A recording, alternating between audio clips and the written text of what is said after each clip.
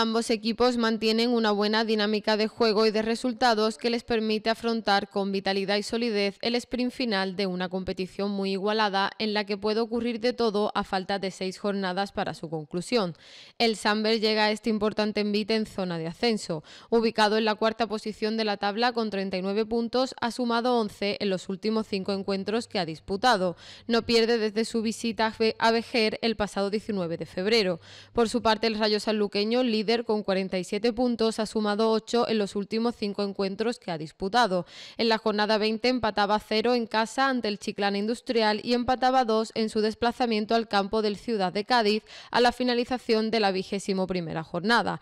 En la jornada 22 sumó los 3 puntos en juego tras derrotar por 3-0 al San José Atlético, pinchó en la jornada 23 en su desplazamiento a El Picacho de la Juventud Sanluqueña por 2-1, mientras que en la pasada jornada goleó en casa a la afición Jerez por 4-0.